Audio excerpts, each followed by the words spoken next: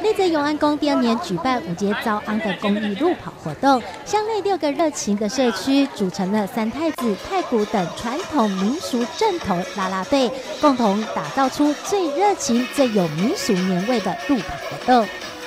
早安路跑赞赞赞，马寿保比保平安。我们今年在举办的时候，刚好遇到啊，我们国内疫情刚好要。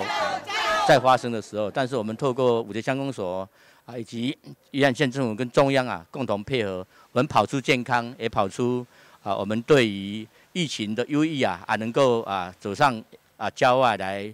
啊，让我们的身心呐身心也能够更为健康。我想明年的举办呢，我们扩大为五千名的啊一样，我们会最严格的防疫的要求，配合中央政府以及啊地方政府的要求啊来达到。对公。啊，这个路跑，咱利用东山河的这个河道的这个堤防，佮加上咱五十二届当地的这水花棋班长，这风香树，呃，这呃结合这样子的一个景观的生态环境，让大家你这个过年的时间来到五节乡，除了可以来这里参加活动以外，也可以体验一下这样子一个非常美的一个环境，希望大家会喜欢。比赛分为二十一 K 半马组、十三 K 健康组，还有四 K 的休闲组。由台湾超跑英雄林义杰先生来代言领跑。主办单位更期盼今年能够增加到五千人。除了鼓励大家运动、保持健康之外，同时也响应公益，将会提拨报名费二十块的公益金来给宜兰联合雀木基金会，还有永安宫古迹维护等等。那这公益路跑其实非常的特别，因为就是。呃，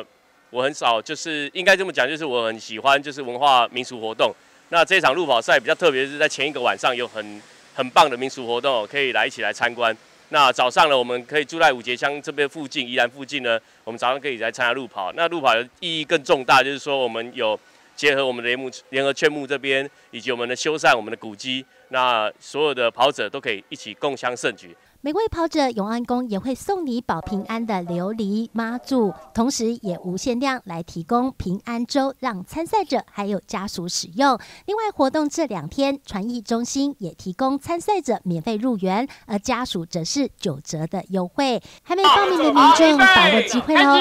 跨早安，做公益，